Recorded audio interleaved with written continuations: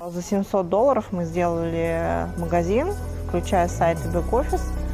Вот. И, по-моему, по 2000 рублей мы платили в неделю за рекламу. И все, у нас пошли заказы. Ну, считаю, что капитал это был труд и